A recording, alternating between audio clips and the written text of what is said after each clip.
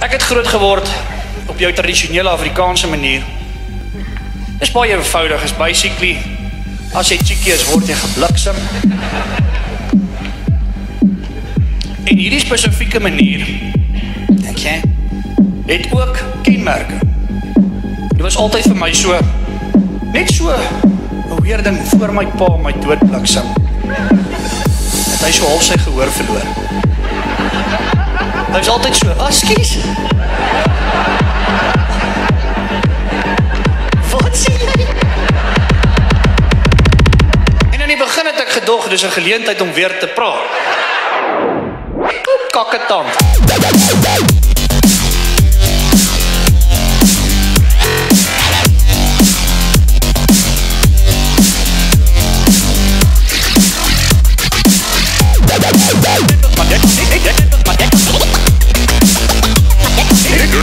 Rocketon.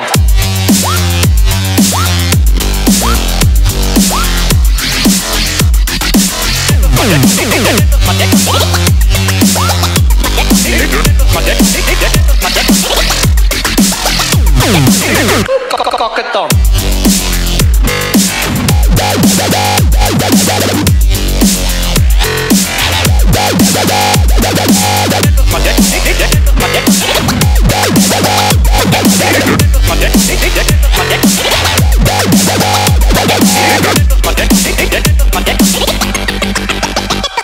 Bliksem. Nog 'n kenmerk van hierdie metode van opvoeding. Ja. Is die feit hoe jou pa jou kon sulke confusing vrae vra met jou kop te speel. Sy confusing goed soos sorry het jy nou net. Het jy nou net my bakkie gegooi met 'n klip. En dan sê jy wat wat vir my so voorkom want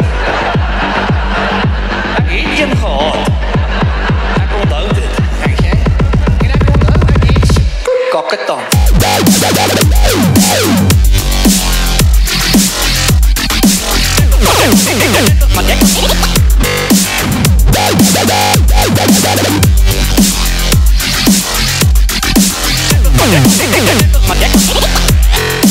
Sorry, jy nou net.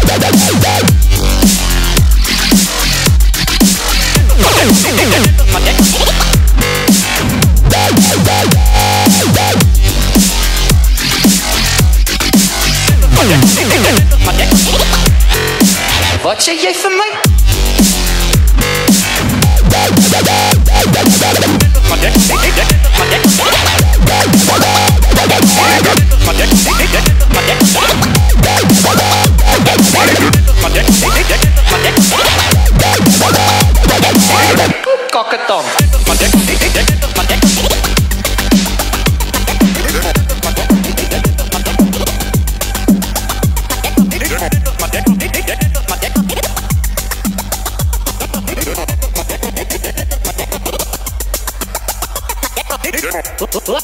Lacabush.